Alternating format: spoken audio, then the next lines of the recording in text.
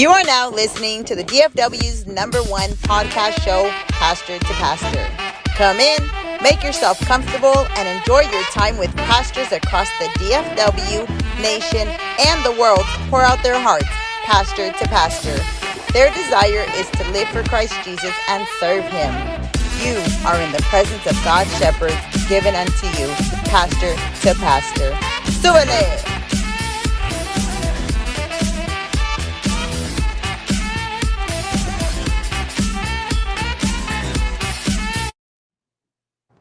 Pastor Padilla, ¿cómo está? Hey, Pastor, how are you? It's good to be with you. Great to see you. I, I love that you you are uh, up to date with technology. yeah, I, I try to keep myself up with all of that. It, it entertains me. you, you, you, you know what? I'm, I'm glad you said that because uh, a, a, mí, a mí me encanta también. I mean, I, I love it. Yeah. I, I, I, I love I love what I do. It it uh it, it gives me such a uh another aspect in in my my personal walk with the Lord yes. that that challenges me, you know, to to to expand the word of God. It's just another way to share the gospel. Whenever, Ab- whenever you know, there's audiences everywhere, and right now we live in a world where uh, the online audiences are sometimes being neglected. So I, I love being able to be a part of uh, just using technology to get to people. Yeah, and and you know what, Pastor, in el tiempo de de COVID in 2020, uh, you know, the, this this is what happened. It, it forced us. Yes. It, it it I mean, it forced the church to get out of that uh 1980s mentality of of the way we would pr- produce a a church video Correct. and forced us to use the the the the amazing technology that is available. That had been available for quite a while, but we just hadn't jumped on it. You know. Yeah, good. other pastors, I feel like the the this COVID thing, as bad as it was, and we understand that there were people suffered a lot of loss from it. I think it was a way of, of God just kind of shoving the church outside the walls and saying, "Hey, there's another way of doing things. It's not it's not a wrong way. It's just a different way of doing the things that you know he, he had called us to do." And I I I grabbed a hold of it. I, I've been doing video for oh my gosh, the years. I've been doing. Uh, Wow. I remember when I was a kid, I would I would go into a closet with my little tape recorder that had a pitch control, Wow. Go up to sound deep voice, and then I would go to another person. And I always been amazed by technology, and I had micro cassette recorders, and I would be doing my own little radio show. And then uh, when cameras started coming along, I started uh, buying webcams when they were like 320 by 120, the resolution. Wow. Wow. now now that when COVID came, I was kind of a little bit prepared, and I was Yeah. able help a lot of pastors and a lot of churches kind of set up their their online uh, ministry when COVID hit. I was looking at a video today, and and by the way, everybody who's listening to us, you know, just sit back and relax. I mean, sit back and relax. Um, you know, this is a pastor to pastor. Uh, pastors just opening our hearts as if we're just sitting down in our living room and just having a chat. Yes. Um, you know, I was looking at a video today of, uh, I guess seven years ago. Was it seven years ago? My lord, or maybe five years ago. Five years ago. Huh? And I have a little, you know, a little blue mic that you buy on Amazon. I What- don't. uh, and you know what? Let, me- let me say this, Pastor Roberto, because a lot. go ahead. Go ahead. I think this is very interesting. Yeah. You and I met online before we met in person. You and I sure did. Yeah, we were online friends. was doing all his uh, uh the Wi-Fi stuff. Remember? I remember the Wi-Fi stuff. Yeah. remember I met you, and then you saw me with Brother Barrientos coming online, and Yeah. we we literally started chatting and talking as if we've known each other forever. Yeah. because yeah. we met online, and then like the first time we met in person, we're like, oh, there's the face to the to the voice and the stuff we've always seen. So I think it's also good because it, it it helped us. If it wouldn't have been online, we probably would have never met. no, and and and going back to that little video, I was like, um, you know, because I wanted, I, I also had that aspiration, ¿verdad? Uh-huh. Aspiration to, well, I, I got some time and, and I'm reading my word and, and, and I, I'm in my devotionals, I'm in my meditation, and I want to tell somebody about it, but there's nobody walking through that door and, and, and, and this and the other. And, and I got about an hour here that I can tell the whole world about what the Lord, you know, what I, what what I learned today about the Lord, and Huh? and so I bought this little mic, and I didn't know how to connect it. I couldn't connect it. I didn't know what I was doing, but but but it started to work, and and it's crazy porque me llamó una radio station de, de Fort Smith, Arkansas, Radio Vida, la oh. estación diferente. and they call me and say, "Hey, Pastor, what's your what's your radio show?" I said, "Man, I don't got a radio show." He said, "Do you want one?" I said, "Absolutely." Praise God, man. Yep. And so that's how I got. I started to get serious to where okay, now I got to get a soundboard. Yep. Now I gotta get uh, ¿cómo se llama el program Is it radio radio? Oh, It's, it, broadcaster or something? yeah, bro- radio broadcaster or something. I had to learn it, and all of a sudden I was on the air. I was, I was on the air, man. But you know what? That's a great point because it, it shows it's a it's a Gideon moment, right? You start Mm. working where nobody's watching, and then the angel of the Lord shows up and says, "Hey, I see what you're doing. I see You what see, yeah, you see, that's why you're a great preacher, man. That's why you're a great, you know, preachers. All you gotta do is just just talk, and a Yes. sermon will come up. Yeah, I know it's amazing because I, you know, every time I see Gideon, here's Gideon hiding in a little, uh, you know, in this hideaway. yeah, to- in, in a wine press. and then the angel says, "I like what you're doing, and I want to take you bigger." And he's like, "What? I'm the youngest one of my family, and I am, I am the, I am a poor family." And I'm the least of the least. and he said, Ay, care about that. I care about the heart. I care about what you're doing, and and and I can use that, you know. And I think uh, it's a great message to anybody that's listening to us that they it might. is. I'm just here behind the scenes. You got to remember that before Jesus also became the Jesus of Nazareth that everybody knew, he was walking in the shadows for so long, and Yeah. and it's 33 years. Only three of them are public. The rest of them are in the shadows. Isn't that amazing? Isn't that great? Isn't that, That great? is amazing. That is. I mean, the, the, the, I don't. I don't think we we we think about that. yeah. That the that thirty years are not written of. Yeah. Yeah. and this and this is why he said in the book of john talking about if they were written there wouldn't be enough you know books or pages or paper or Correct. to be able to fit those books in your library can you imagine Yeah, and and and you know, and we everybody is in some kind of work waiting in the shadows. You know, we're we're all waiting in some area. It's might be ministry, it might be job related, it might be you know family, be marriage, you know, whatever. Some people. Yeah. You know, just kind of say, "Hey, you know, se te está pasando el tren," and it's like, "No, it's not. It's just my wagon hasn't crossed by." You know. and and also thank god for those shadow years yes. Yes. you know because there's some you know my, my wife and i were we're, we're talking about the other day we're like man can, can you imagine if uh you know the years where we're growing up can you imagine if social media was that in people's faces you know uh, as i said man babe it, uh, i mean it, it'd be real difficult to to for people to have seen that version and then say wait a minute a pastor no way there, there's, there's no way i'm gonna follow that guy Yeah. And, you know, and so yeah would have told us back then what he was going to do with us now, we would have never, Oh. you know, joined it. We would have been. no way There's no way. You know, um, I'm I'm going to the Rio Grande Valley, Lord willing. You know, because I mean, right now, Pastor, there's a lot of people getting sick. yes. I mean, as as much as we, I mean, hey, people are getting sick. You know, take care of yourselves out there. Yes. And and um, anyway, the plan is, if it's the Lord's will, we're going to the valley, which is getting even worse, brother. hmm uh and, and and it's more it's it's it's not an evangelistic trip. It's not a go take care of past you know uh things that i gotta take care of But yo soy el valle.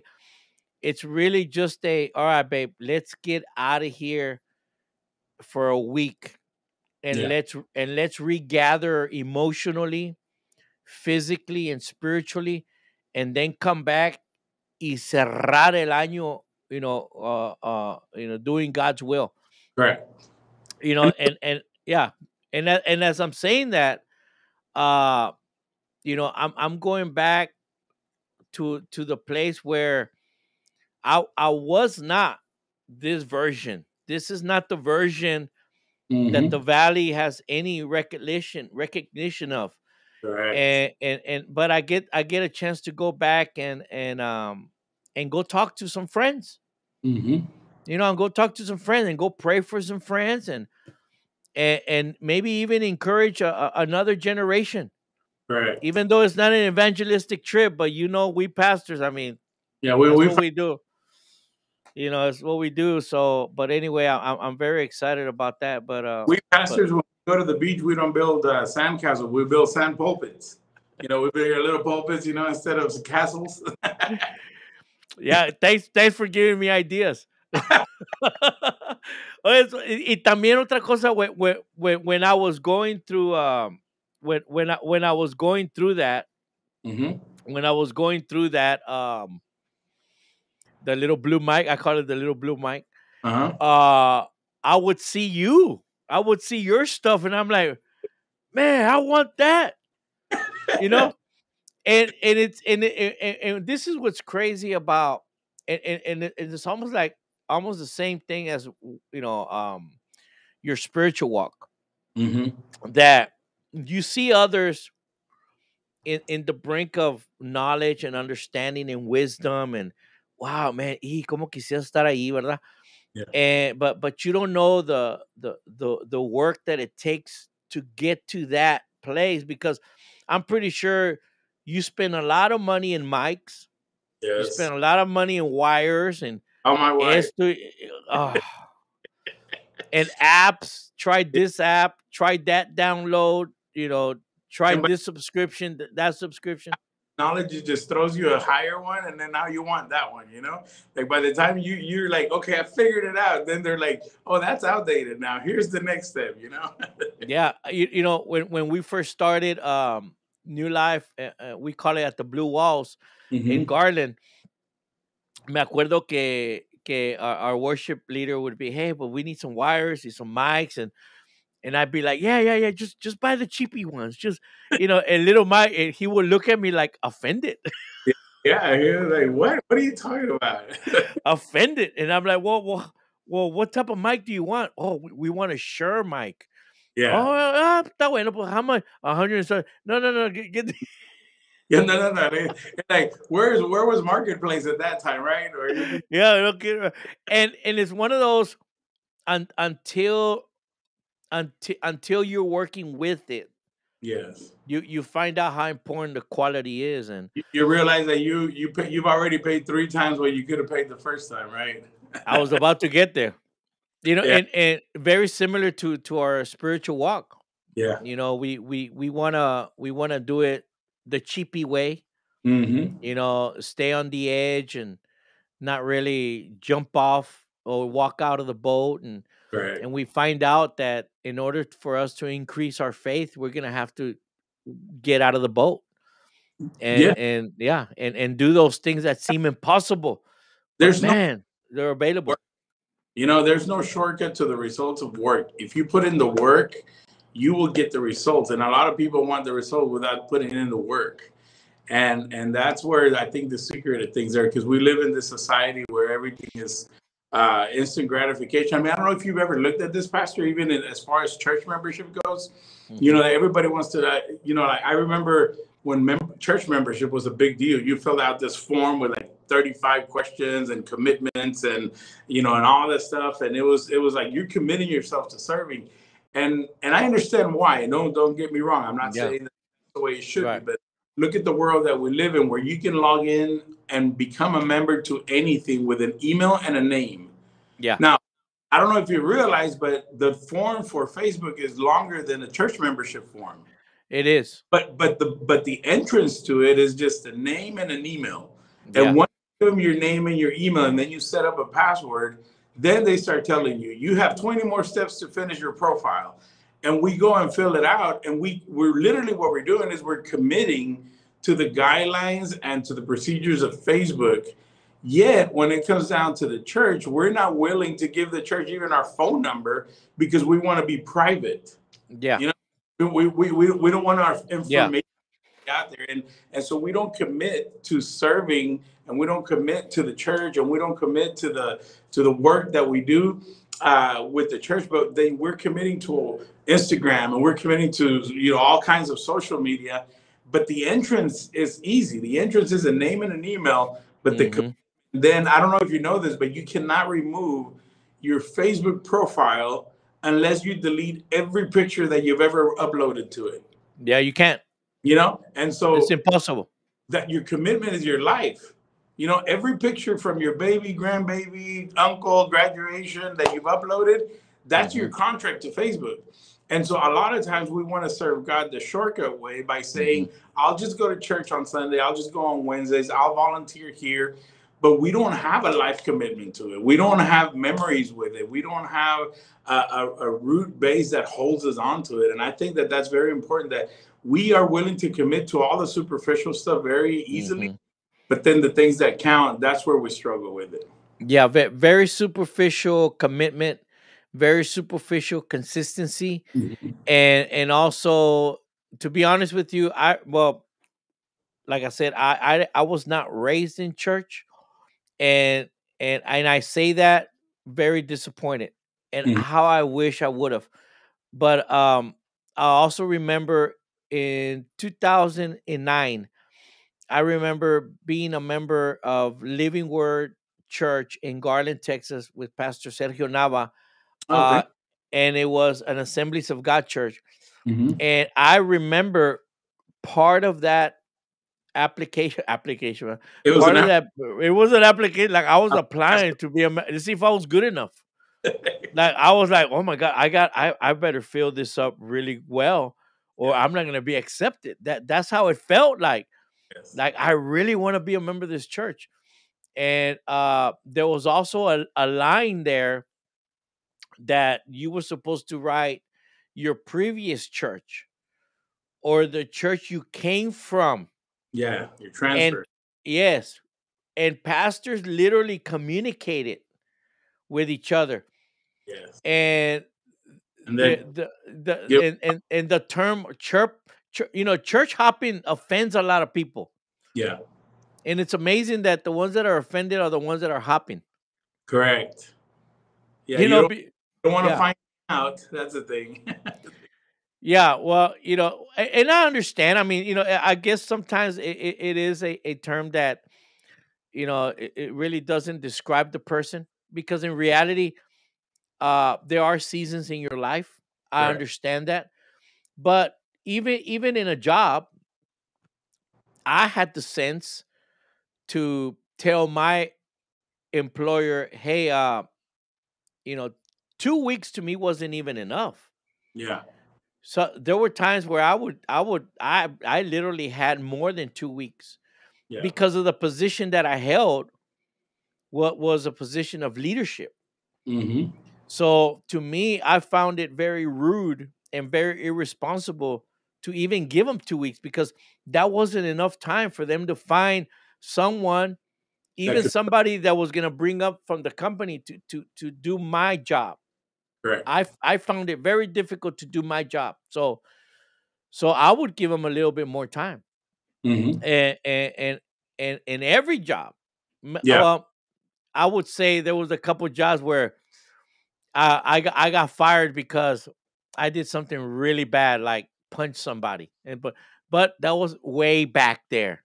Way back. Pero there, there, there were there were times that my job, because of what I did and the position I held, uh, I, I found it very important to to tell my employer, hey man, uh, thank you very much for, you know, for taking care of my family, you know, for the Mhm. benefits that was offered to me in this company, and but you know what, I'm moving into a different season. Yes. Uh, I'm getting more pay. I'm gonna be honest with you. I'm gonna get more pay. You know how I wish, Pastor Padilla, because you you you you you you you've gone through this with your parents, with yourself, and, and you know the pain that is involved. in seeing a person or a whole family leave. And but this is the worst part, que no te dicen, pero le dicen Yeah. a todos. Yes, and and contrary to you, I grew up in the church. You know, I my my my dad's been in ministry since I was a kid. I remember traveling with my dad to different churches where he would go minister. And then when we came here, uh, 36 years ago, uh, my dad was already in ministry. As a matter of fact, we stayed here because his ministry basically transferred here to the U.S. And uh, 33 years later, he's been pastoring the same congregation after leaving the church where we originally came in, which was Central Park Church with Pastor Adolfo de la Garza. Yes. And so three years after that, he started pastoring the church where he currently is at. And and yes, and it's been transitions where they're painful transitions because people, you know, some of them walk out, some of them let you know they're leaving because of jobs, because of change of cities, and you know, they need better schools for their children. So it now it becomes an inconvenience. And so you understand those stages, but then you also know that there are the actual church hoppers, which are people that are just looking into what will take them faster to their end goal. You know what Yeah. I mean? A It's not- consumer mind. A consumer mind. Yeah, it's, it's not even about ministry. It's not about the kingdom. It's about how can I get to where I need to get to by hopping into churches that will offer me what's next for me. You know what I mean? Mhm. Yeah. having grown grown up in church, you know, my dad a pastor for thirty something years. Uh, I've been I've been able to work in our denomination uh, uh, with the Church of God, uh, not only locally but then district wise, and then from the district goes to region wise, and then regional goes to national. And I've been on national committee boards, and then I've been a regional director for several. And it happens at all levels. Like people will drop a church for a better opportunity. Like pastors will drop a church for a better opportunity. Yeah. Um, ministers will will switch careers, quote unquote, because of better pay. Uh, and then you go to the local church and you you find the people that will leave you because over there you can be men's director and over here you can be evangelism director and it's not even God led. It's a lot of times it's just a part. Uh, como dice, es oportunismo. You know, it's Yeah. just opportunity for you to take something that you've been wanting. It's it's, it's not even God led, but but it's it's just the ego that wants to go places and. And you know we're here talking pastor to pastor, so we, we can be a little bit more upfront. Yeah. With, and and there are pastors who have been neglected and hurt Yes. people who are looking for personal interest. Absolutely. And, and so and so we we deal with this situation in the church. Uh, if it hurts a company financially when a when a manager just walks out, imagine what happens in a church when a men's director just walks out of a church and 20 men that were looking up to him hmm because he found a better opportunity because he wanted 50 men instead of 20 Yeah. they walk out because they want the number not the ministry opportunity Yeah. that that hurts the church you know when Yes. when a worship leader walks out because over there they give you twenty dollars more for the day for playing than for you to stay here with a place where you've built a relationship for 10 years 15 years and then Yeah. you just walk out it doesn't only hurt the band it also hurts the, the atmosphere of the church uh, when, when a when a women's director you know gets mad because 30 ladies don't want to do what she says and Mhm. she's like you know what i'm gonna walk out it we don't we don't realize the damage that we do to the kingdom just the same way that an employee doesn't know when they say oh i'm just gonna walk out Yeah. Production is going to go down. Uh, Yeah. Income is going to lower. You know, so we don't realize that all these things. Going back to Gideon, Gideon wasn't looking for a position. Gideon in Mhm. chapter six of Judges. If you've never read the story, if you're just a, Yeah. a audience member, Judges chapter six. He's Mhm. sitting there saying, "Man, these guys have been coming and stealing our food for years. I'm gonna sit down and do something about it for my family." hmm little did he know that doing that one thing for the small crowd, which was his immediate family, The Was- least of the least. Yeah. was going to turn him into the next general of the army of Israel. Yeah. I mean- Amazing, huh? You know, and, and and then God says, but we ain't going to use any weapons. We're going to use a clay pot. We're going to use some torches, and we're going to use some tr- uh, trumpets or horns. Yeah. Yeah. He's like, what are you talking about? You know, we, we can go through the whole story. I'm not going to go into. Amazing. But then comes Gideon at the end and and he wins the victory over the very people that while he was hiding, Yeah. he, he was just doing what was right. Yeah. You know, and and Yeah. God sees us when we're working in the little, and God sees us when we're working with the few, and then it's those hidden years that take us to the bright years. And I tell this to a lot of young leaders when I'm doing leadership training. Everybody wants the spotlight. What we Yeah. don't realize is that the brighter the light, the bigger the exposure of all the junk that's around us. Mhm. You know, Mhm. because when, when the when the light just hits us, then we find out cómo es tu carácter, how you treat people, are you Oh, yeah. narcissistic, are you self-centered, or are you Christ-centered? And when the spotlight hits, a lot of people want the light until Mm-hmm. the light reveals the reality of who you are. Yeah. Yeah. And and You that's know, yeah. I, I I love it, man. I not not only that, but get Gideon always also offers us a look at his, his true personality or his character. Mhm. He wasn't the bravest.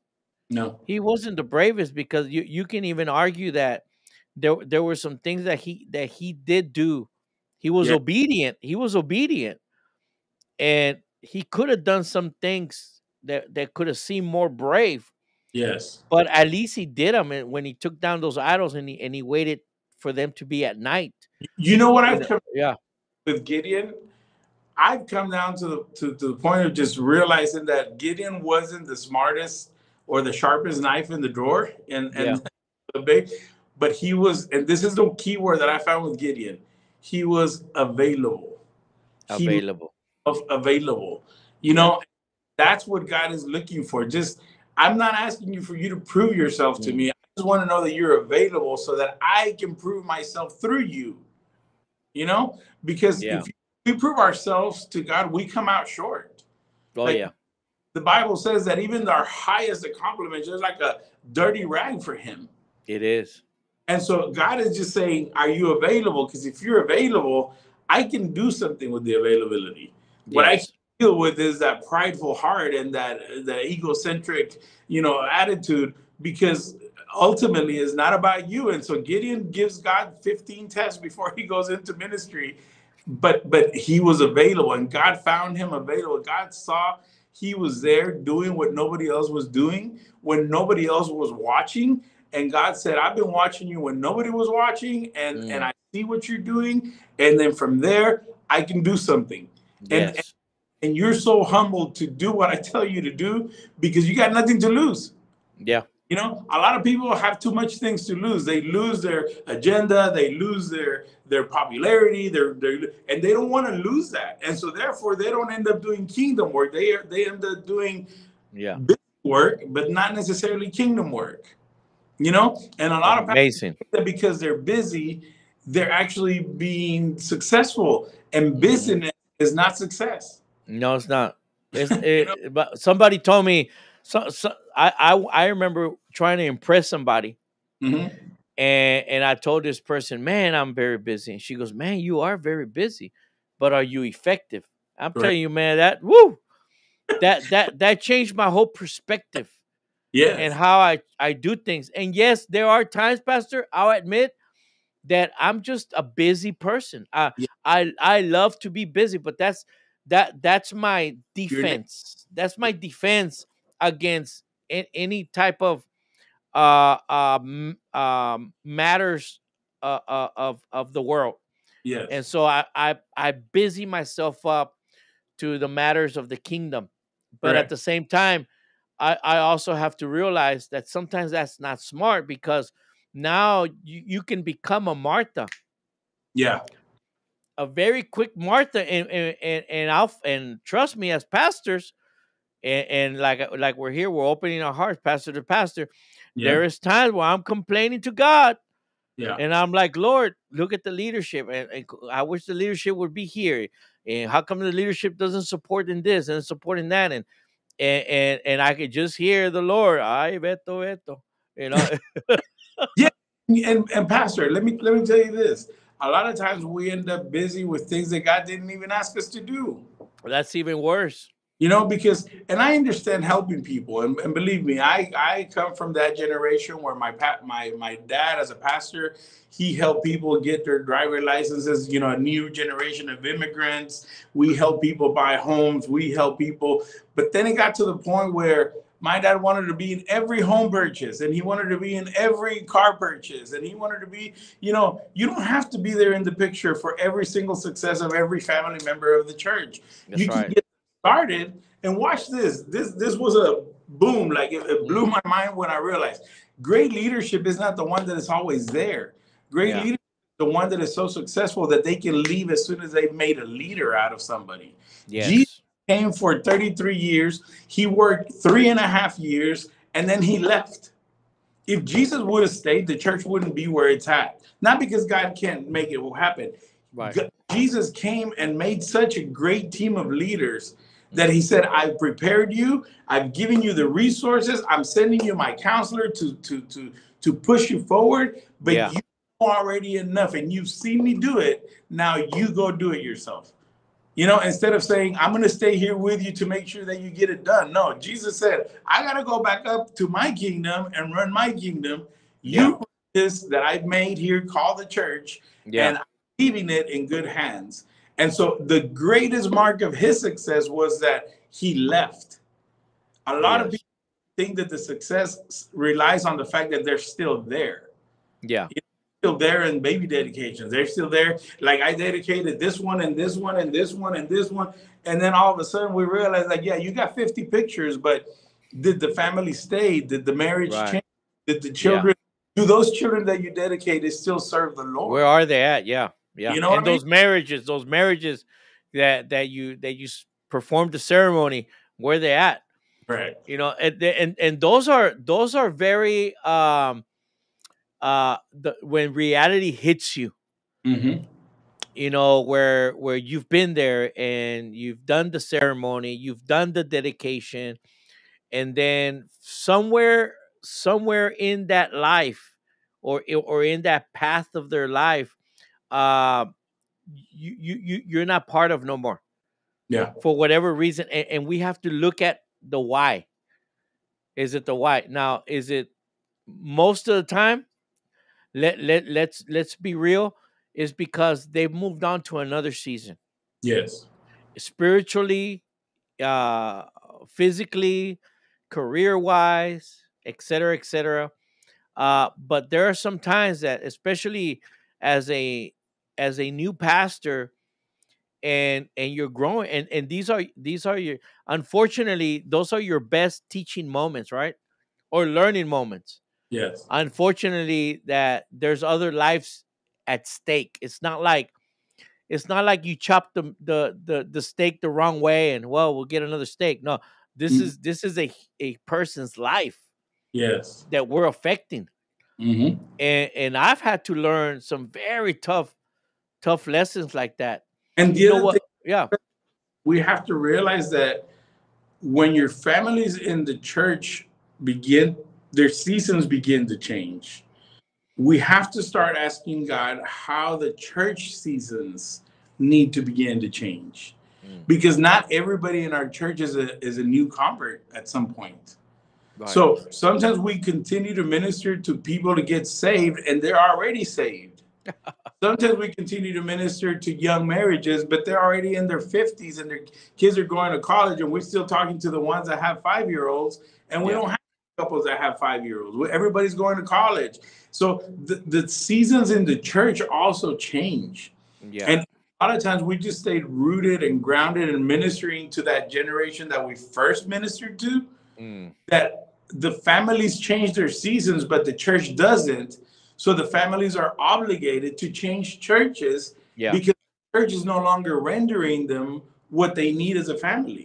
that's right So it's not saying change the DNA of the church, it's no. new ministry, yeah. Grow new opportunities, make those parents that are now having children that are in high school become mentors to those who are starting with their two and three year olds and build upon what you already have instead of trying to say don't worry about it church. I'll still keep on doing it all because god Mhm. called me. He didn't call you. No but he called you to make leaders. Yeah some apostles, some Yeah. teachers, some, you know, and so to everyone he gave a role to be a part of the same kingdom. And I think a lot of the issues that we sometimes find in the church, Mm. with all due respect, and I and I honor those brave men uh, from the first generation. My dad is a first generation minister, where they gave their all. Uh, but at the same time, they owned it all with, and, and allow me to say this: it was such a, it was such a universal church mentality Mm. that I don't know if you remember, even in the Cantinflas movies, Yeah. where not even the sheriff had as much power as the priest. Right. Like the That's right. sheriff say this is going to be done unless the priest said otherwise. Right. And I our churches a lot of times ran that way where the husband would say we're doing this but then the wife would say but let's see if the pastor approves it right. Yeah. pastor That, yeah. That. Yeah. yeah. became role I li- in families where man began to feel like hey wait a minute i'm your husband not the pastor Yeah. you know Well, I'll, I'll and and I'll make two points on that before I forget. And what one of the things that on my end that I remember when I was I was working and mm-hmm. pastoring, I knew that the ceiling had to be raised Right. because if the ceiling wasn't raised, then these people were growing and they were hitting the the ceiling and there was really nothing else for them. yes And so they had to move themselves into another place where they could grow spiritually, et cetera, et cetera. it, it, John Maxwell calls yeah. that the law of the lid you yeah, know the law of the I like that. The law of the lid. higher than the lid allows it to go to you know Yeah, yeah, absolutely. Our church is Absolutely. committed to to the lid. The leadership is the lid, and if the lid cannot let those those things come up, it'll stop there. You know. Yeah. And and so whenever whenever like let's say you have a family whose children grew up in the church, now they're 13, 14, and 15, but that church has such a strong children's ministry, but a weak teenage ministry Yeah.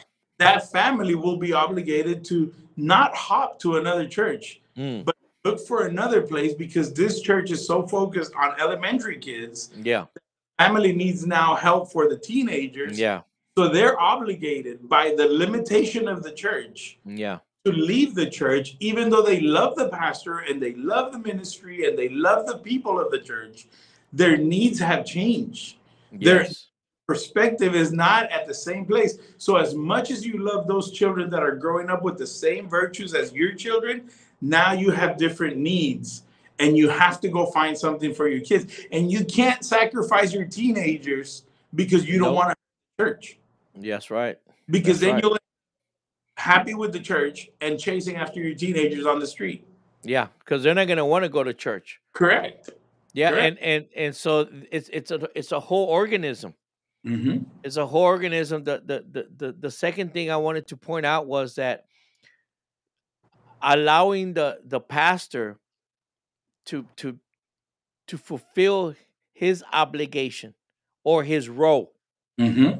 which is to shepherd, Yes. which, which is the the which is the the direction that Jesus told Peter, Yes.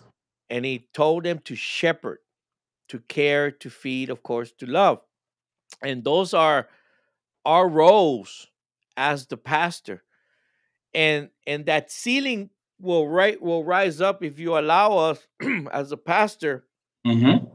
to rise up that ceiling, but also just like we're creating or discipling pastors, Yes. those pastors have to disciple leaders, Yes. and those leaders have to disciple other leaders.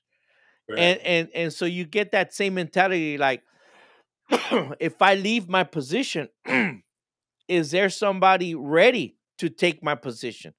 Yeah. And that's the question that every pastor should have, and, and, and, and every leader should have. And here's another one that, that Jesus just uh, showed it to us in flesh. And and I add to what you're saying right now. And it's the fact that you not only do you allow your pastor to do his job so that he can raise that ceiling, and and this is gonna sound contradictory, allow your pastors to make mistakes. I Yeah. mean, we have this standard on pastors of perfection and the moment they make a mistake we lose our faith in faith in them and then we want to say oh he's not a good leader anymore because he Mhm. made a mistake Right. peter chopped the ear Yeah. off guy before jesus was taken to his trial Yeah. and jesus didn't say peter i'm cutting you off because of this no he said peter put put your knife up you know you made a mistake put your knife up this is not how we're going to fix this and then Jesus healed the ear of the gentleman, you know, and he said, This thing has to happen. You made a mistake. He didn't say, ah, You're out. You know how I know this? Because a couple of hours later, the rooster crows, and the same Peter yeah. looks at him, and Jesus looks at him with eyes of love and says, Peter, it's okay, Peter. You made another mistake within 24 hours, but you're going to be all right. And then you know how I prove it? Pentecost Day. Spirit God comes down. Jesus never said, or God never said, Peter, you sit down because you made two mistakes. Right. No, he says, rise up. You are Yeah. the greatest example of my grace and love. You made mistakes. You said, I'll go to the cross with you. You said, I will not do this. You said, this will not happen with me. And now instead of saying you made three mistakes, you're out, Jesus says, get up and show people that my power and my forgiveness and my grace can make somebody that failed 15 times the greatest speaker of all times. Three right. people came to the Lord that day. Yes, amen. And I would also add to that that that as Peter cut the ear, we can also argue and we can also point out that he didn't have help Yeah. because he, he wasn't assigned a, a Holy Spirit helper. Yeah. And so so I would say the same thing as well that even as pastors, perhaps, yes, I'm we're not talking about we're, we're not we're not talking about moral moral Mm. stuff. We're talking about leading decision making in leadership Yeah. because we're gonna make a lot of mistakes in leadership. Why? Because you're dealing with people. But the And- church Yeah, mistakes. You know, absolutely. Yeah, can't cut them off because they made a mistake because we the pastors are picking people up mistake after mistake but god forbid you make a little mistake and a that's lot of right. times our marriages suffer as ministers because we're trying to save so many marriages Yes. we're over here spending six hours helping this marriage not fall apart Yeah. and we, we left our wife at home preparing the dinner that we didn't show up for Yeah. Amen. You're realize that we we go through those things and then forbid they find out we had a problem in our marriage because now we're bad pastors because we can't handle our own marriage yeah because we were trying to save your marriage yeah. Amen. Amen.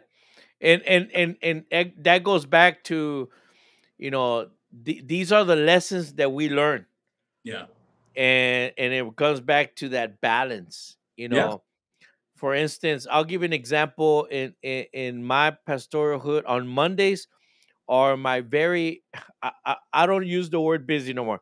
Mhm. are the most active days uh, because on on, Mon- on Mondays are my um, discipleship, uh, Mhm. marriage discipleship, and I don't get home till nine o'clock. yeah But but I put everything on Monday yeah because I know Tuesday there's other discipleships that happen. Wednesday, of course, church.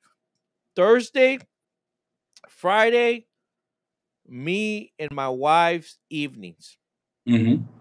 Yo no voy a contestar el teléfono. yeah I'm just not going to. Yeah. And this is why I tell our, our other pastors, this is where you guys come in. correct This is where you pick up those phones. Mhm. Well, they don't want to talk to us. They want to talk to you. Well, this is where you have to make yourself available Yeah.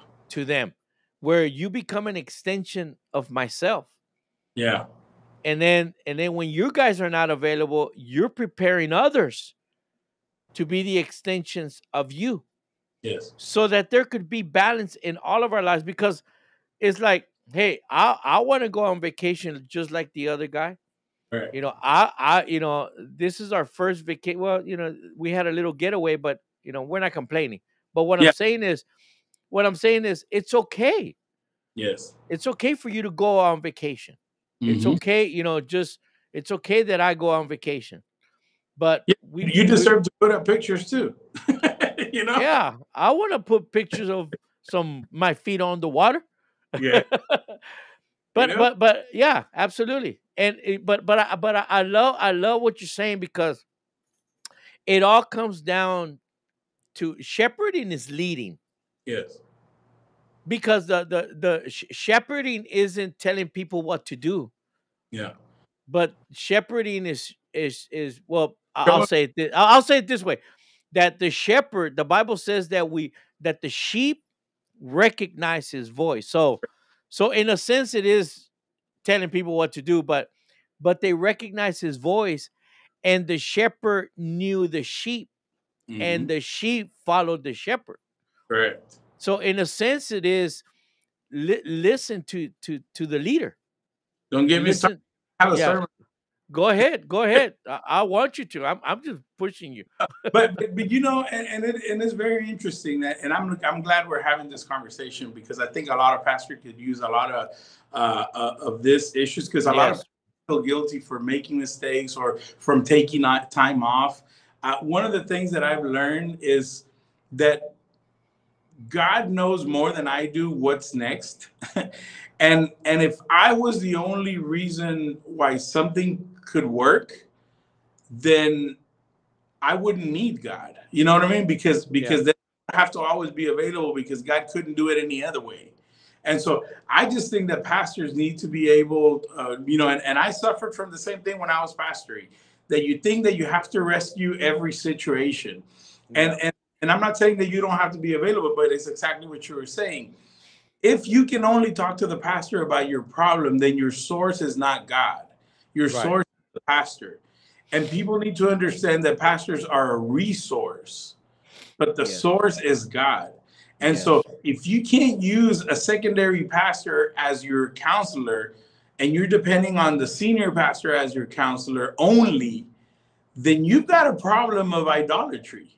Mm, yeah, yeah. You know, Plain you simple. Are, you are placing your eggs on that basket, and and the moment the pastor has an issue, then your king your your situation falls apart too because you put your eyes on a resource instead of a source. And so what we need to do is we need to teach people to to know the voice, but to also know that when the voice says call my assistant pastor is because I am putting my trust on that assistant pastor because he's been trained to do the work that you're looking for. You know what I mean? Yeah, that's and, so, right. and so our churches have to understand that we are a community of, of, of believers and a community of servants that we're all in the same interest. And a lot of times we just uh, focus on the people and not on the ministry itself. I've, I've been in a place where my wife is not super involved in ministry in the sense that she's not a public, you know, worshiper and preacher and teacher. But there's been times that I get home and I share something with her just out of my frustration. And then all of a sudden, from nowhere, she says something, and I was like, that's the answer. That's what I've been waiting for. And I've been reading books, I've been reading, listening to podcasts, calling senior pastors, and all this other thing. And then God gives this woman who's not super public the answer that I've been looking for. And and I'm just and I don't tell her at the beginning because you know I don't want her to que se sienta muy nah just kidding. But you know, but I sit there and meditate on it and I was like, wow, isn't God amazing that He brings me the answer to a marriage problem, to a decision in church, to a purchase situation. And I remember this one time I was trying to deal with this family situation, and she goes, Josue, have you realized that you're you're you're you're talking about a situation that is not church related? It's it's a family issue. Mhm. That that's not for you to handle.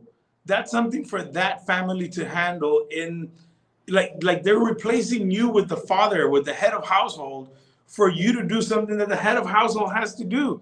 And I realized it, and I was like, "You're so right." Here I am going three times a week over there trying to fix a problem that they need to fix themselves you know and and so a lot of times we we become the source for people and they don't even know that we sometimes don't have the answer and we have to wait and we depend on a moment on a time where god will give us that answer and then we give them what god has given us but they don't even know that it didn't come from within us. It came from what God gave us to give them.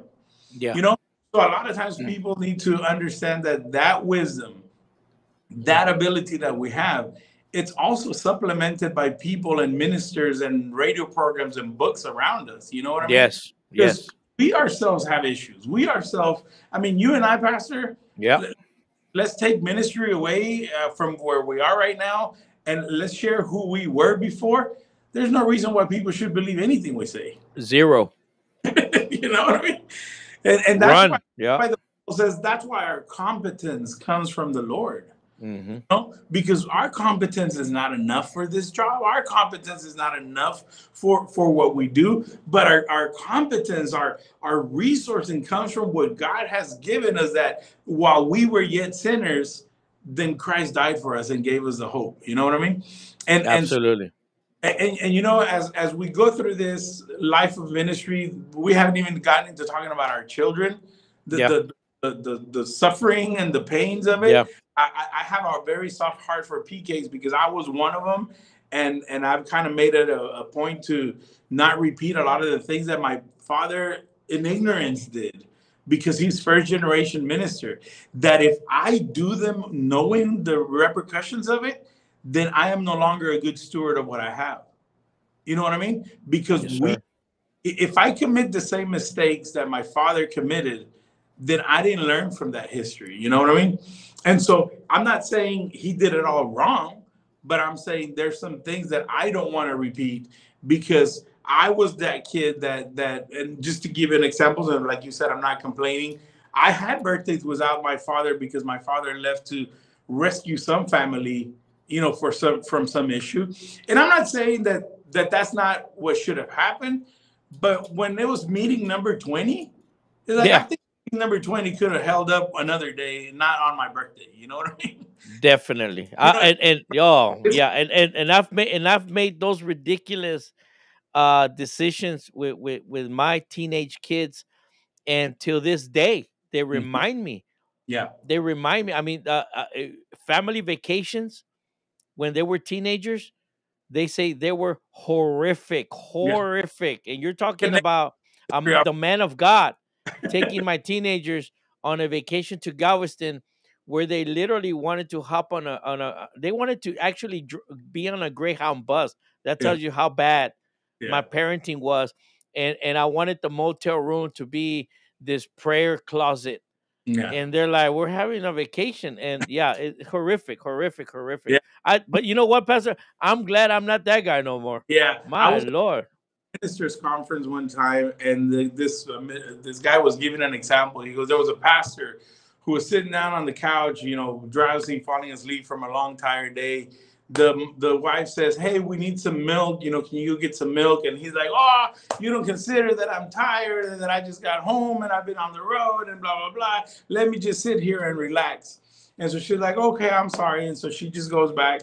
And within minutes, the phone rings and it's some person saying, Hey, I'm stranded in the middle of the road. I'm out of gas or my car won't turn on, da da da da. Gets up from the couch, goes and puts his shoes on. When he comes out to the front door, the wife is standing right in front of the door. He goes, No, you're not. And he's like, But hermano so and so needs me. He goes, Well, your kids need milk. So when you get me a gallon of milk, then you can go help somebody get some gas. Because how are my kids not going to have milk and this hermano going to have gas in the middle of the road? And you're going to be available for everybody else except your family. yeah, You know what I mean? absolutely, yeah, yeah. And and and we're just and we're just barely touching Surface. on those little issues yes. on the ha- pastor to pastor and Mm.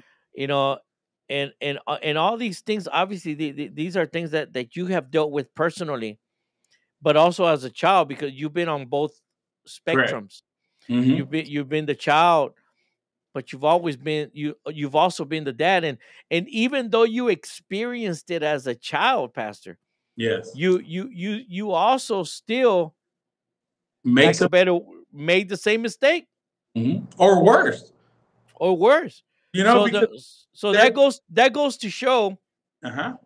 that a pastor can can teach you disciple you preach to you the contextual word uh, uh, of the word of god the Mhm. contextual doc, doctrine of the Word of God, and is it's not necessarily because he's not a good teacher Yeah. or a good leader or a good pastor that that the sheep are gonna still be acting or behaving like goats. Right. Correct. And and you know, there are mistakes that my father didn't commit because the times didn't serve themselves for it. That now I might commit if I don't watch out for them. Mm. Because now the times have changed and going back to seasons. There are mistakes they we didn't commit 20 years ago because we didn't have social media. Today Right. I can neglecting father because I'm so worried about my Instagram space that I'm neglecting my children because I want to be popular on Instagram. So I'm I can't say my dad taught me that because my dad didn't have to deal with that. I mean, what was Instagram back then? Nothing. You got a Polaroid and you have to wait five minutes to see the picture. You know, you know. Yeah. So now we we we got things on the fly. We are worried about likes. We are worried about follows. We are worried about all this stuff. Yes, stuff we are. And that- we are.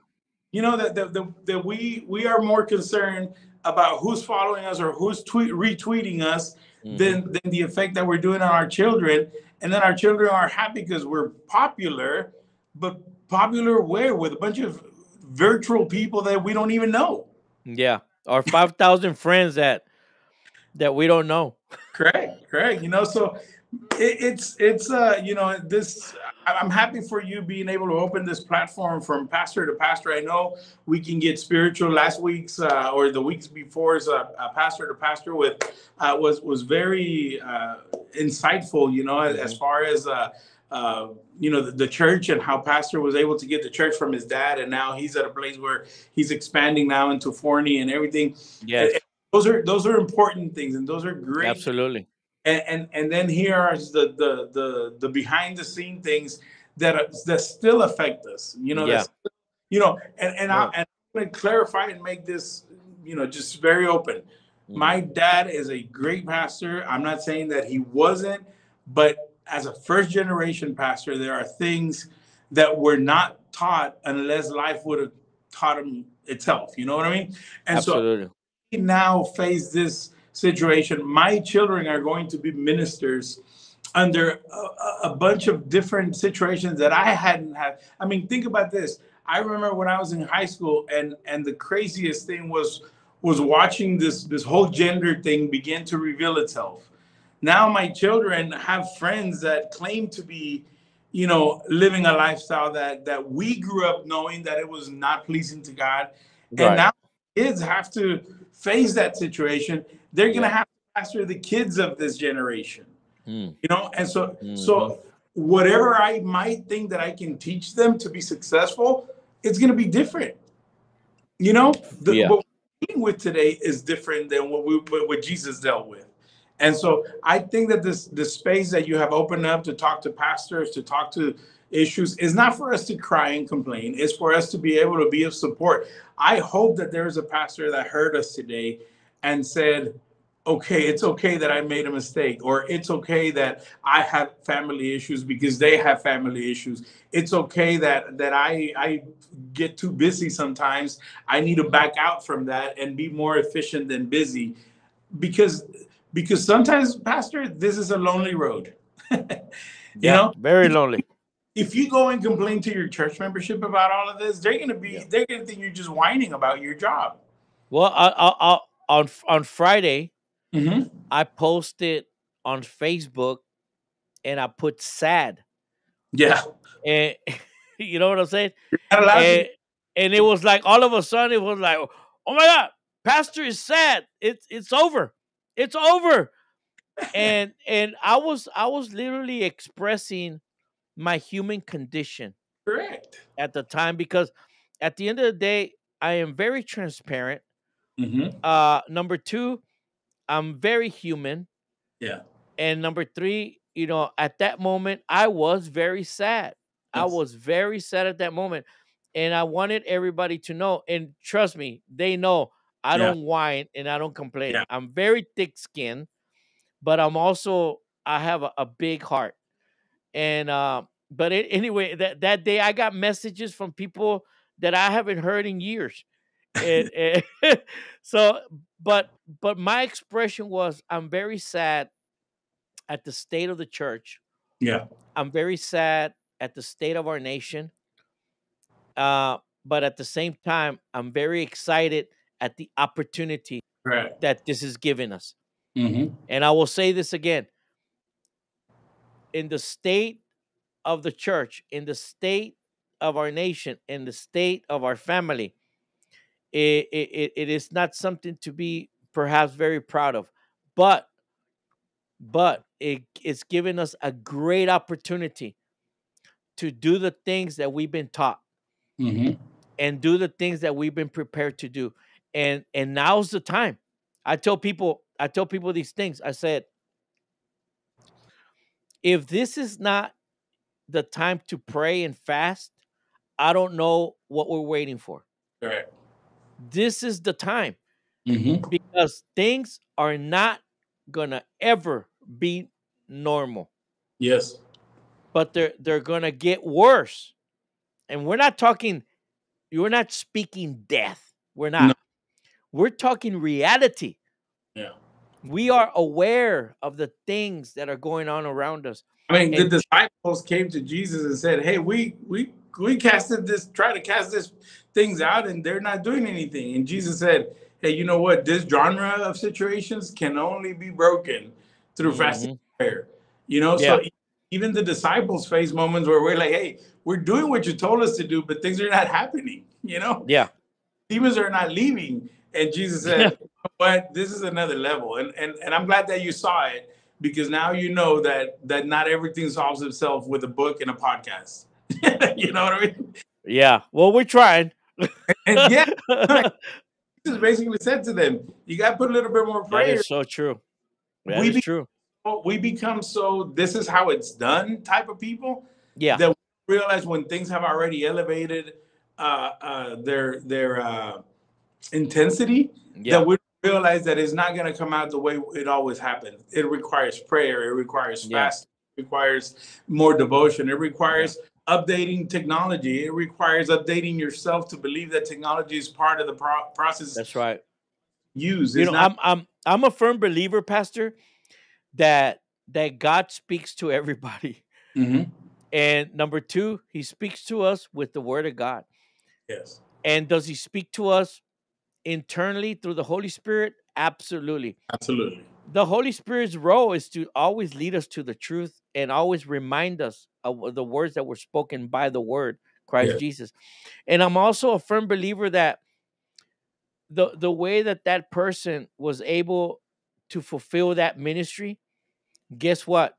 You can, you don't have to fulfill it that way Mhm. because God created you differently. Mhm. I mean, in His ima- image, but with different characteristics. Yes, Pastor. And- both you and yeah. I in the same kingdom, yet we we work in a different atmosphere. We work in a different demographics, and and we met, uh, joined. We joined forces. Now we didn't meet. We joined Mhm. forces to do a ministry about a month and a half ago with the Dream Yeah. Center, and you guys came from another place. I came from another place Yeah, body of Christ is the same. We were able to work together towards a community, and and you you went back and did ministry the way you do it. I stayed where I was doing ministry the way I did it, but it was both efficient because we in the work of the kingdom. You know what I mean?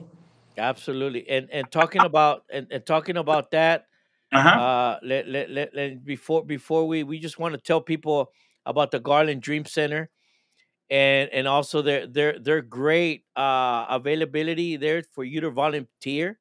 Mhm. Uh, it, it, it's it's a it's a great ministry. It's a national ministry. What would would I dare to say it's an international ministry Yes, well?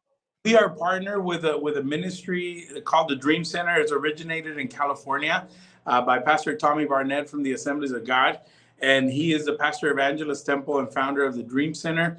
And there's more than 300 dream centers around the world now because of that vision that the Lord uh, put in His heart.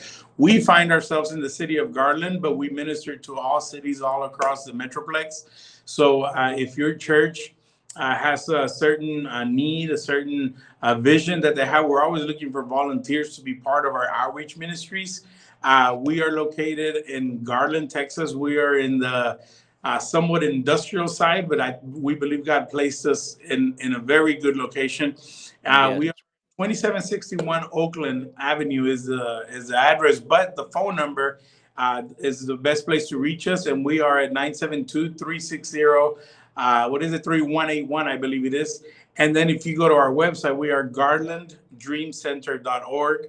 Uh, for those of you who are not online and you're just listening to the podcast, garlanddreamcenter.org. We uh, are basically, like I said, our work is to bring hope to the community.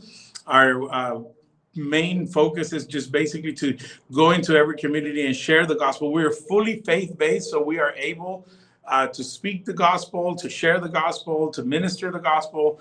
Uh, that's our main goal, and we use the resources.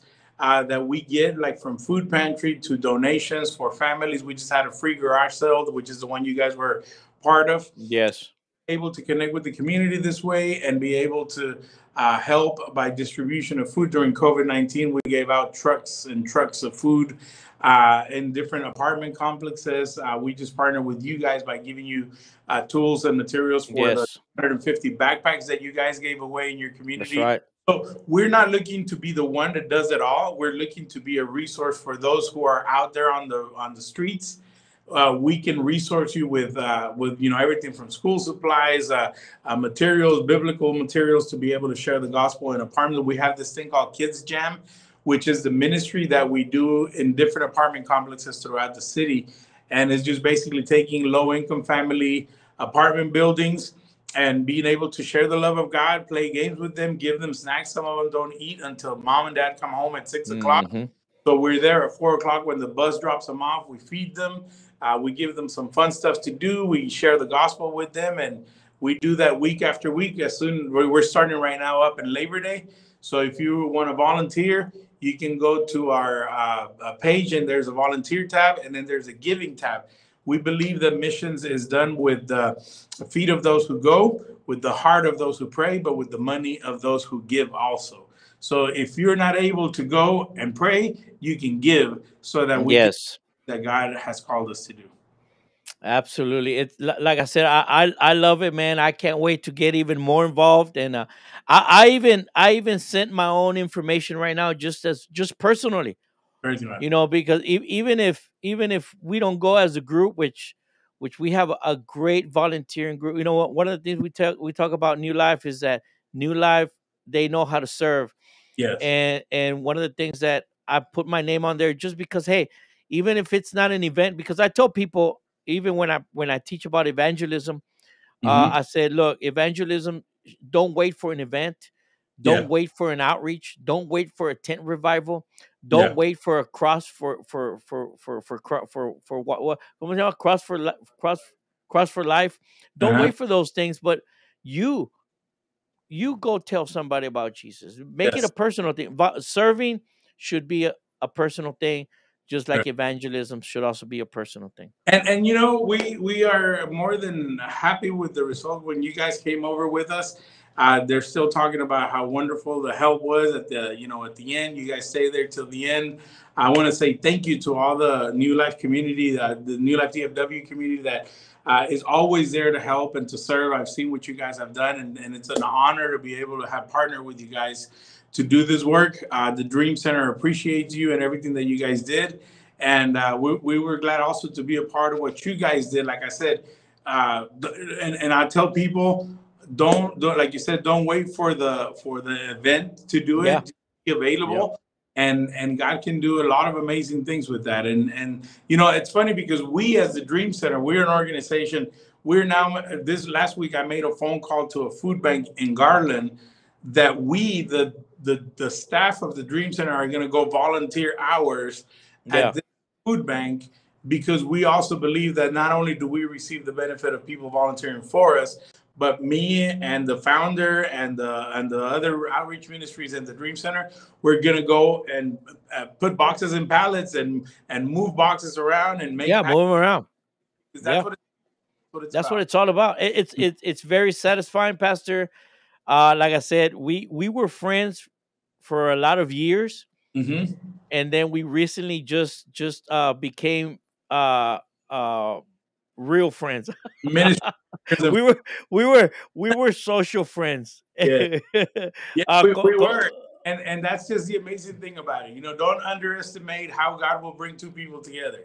Absolutely. You know, And uh, also, Pastor and myself, Pastor Padilla and myself, we will be in, I want to say, uh, Royse City Mhm. uh, on September, I believe, 12 and 13, if I'm not mistaken, or or something like that. Uh, we are we are having. Is it September 12th?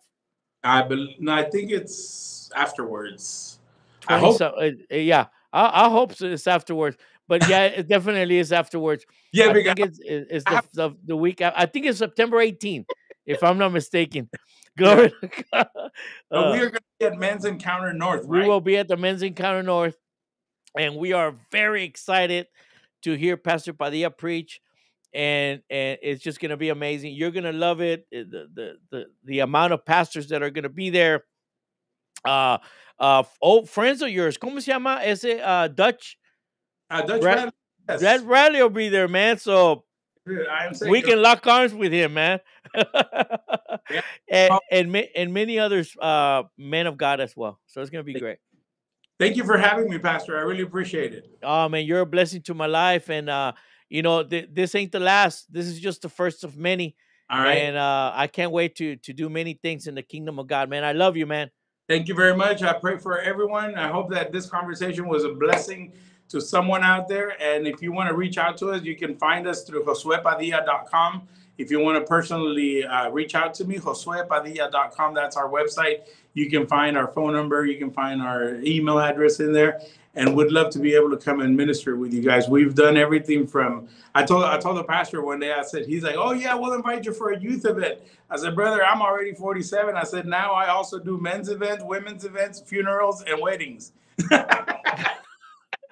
And funerals. I mean, it is what it is. But that- hey, man, connect me to youth ministry because I did it for 20 something years.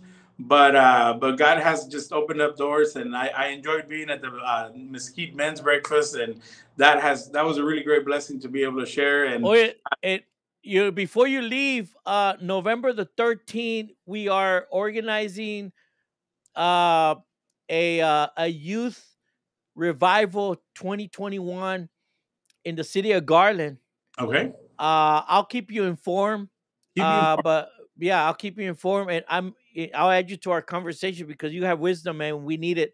And uh, we just want to reach out there. You know, as pastors, hey, if we don't reach out to our youth, you might as well just hang it up right now because it will be hung up for you. Yes, yes, it will. You know, and, So- and just a, a last leadership uh, thing here. I, a lot of people, my, you know, I have a, a small business, and and my wife. Sometimes I meet another person that's doing business the way that I do business. You know, in the same market, and I start giving them tips and and resources and uh, distributors and all the stuff that I do. And my wife is like, "Why are you giving away your secrets?" I believe that in ministry, and I did this when I was a youth minister too. Uh, a lot of people think that the more you give out secrets, quote unquote, the more you're shooting yourself in the foot. Hmm. And I've come to discover that when you give people resources and help and you help them up, eventually it comes back to you. It might not be in the beginning because Yeah. I tell my wife when they when they get there, when they arrive to their destination, I you know you can only trust that they will honor where honor is due. And Yeah. I've been able to now in my 40s being been able to hear young ministers say, you know what, I'm here because of you. I'm here because of your counsel. I'm here because of Yes. those conferences that you made. So if you're a leader, don't be afraid to share your wisdom. Pastor was saying right now, we'll bring you into the conversation. Hey, you know what? If I can't do it anymore because I'm 47 and I can't stand lock-ins anymore, you know, I'll give my my wisdom. I'll give you my ideas. I'll give you my experience yeah. so that can go and get something done that I wasn't able to get done. So don't be afraid of sharing the wisdom. The pastors don't be a share, afraid of making leaders. Eventually, those leaders that you see as a threat will become your biggest uh, voices uh, and saying, "I'm who I am because of my pastor. I'm who I am." Absolutely. Absolutely. Those who invested and mentored me through the process. Absolutely. And and I'll, I'll close with this. Just like you uh, gave honor to your daddy, to your dad, and he continues Mm-hmm. to preach. He continues to work. You know, I give honor to my pastor. You know, my my pastor. He's tough on me, man, but I appreciate it because You I've know- learned. I've learned. I went out to eat yesterday, and he was there. and we were able to to say hello and everything, and we were like, "Hey, look at that! We we don't only make um, uh, men's conferences; we also eat at the same places." I, So, I yeah. love him. I love him, man. Hey, come and join us in our next Mesquite Minister Alliance. I'll send Yes. you an invitation. Sure will. Come and have lunch with us. I will. Thank you for having me. God bless everyone, and we'll see you guys next time. God bless you, Pastor Padilla. Dios te bendiga. Adios.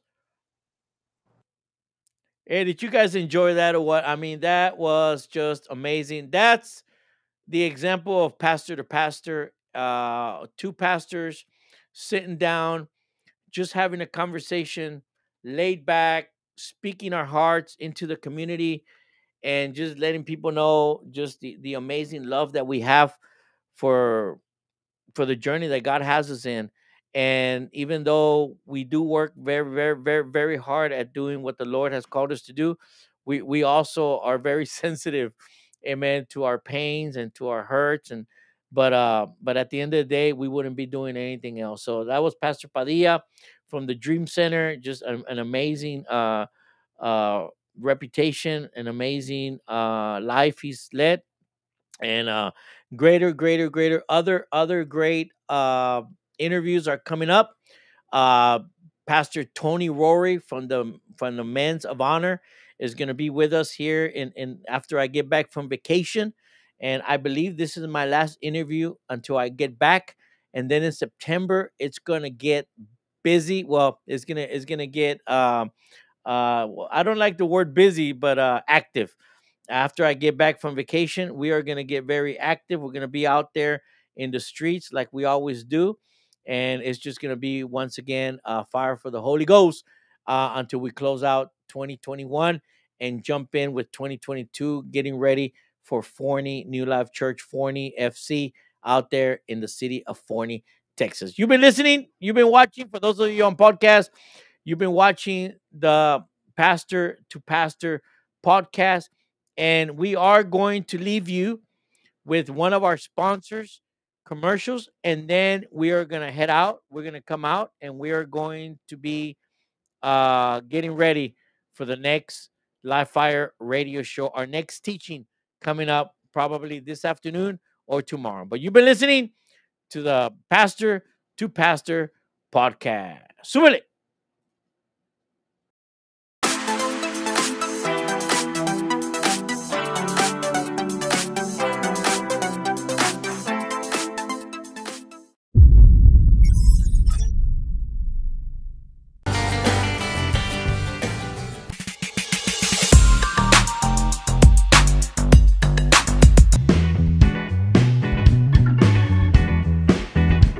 If you're looking for where to get your concrete, custom remodeling, pressure washing, and cleanup around your house, look no more. Born again, men of all trades. Contact Lino Davalos for a free estimate today. 214 923 8458. God bless.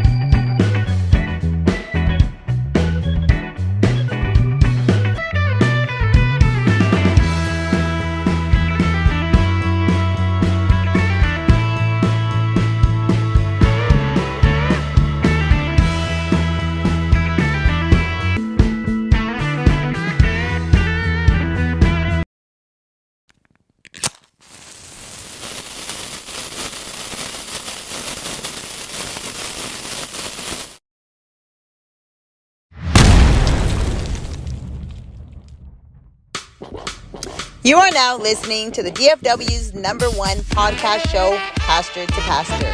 Come in, make yourself comfortable, and enjoy your time with pastors across the DFW, nation, and the world pour out their hearts, pastor to pastor. Their desire is to live for Christ Jesus and serve Him.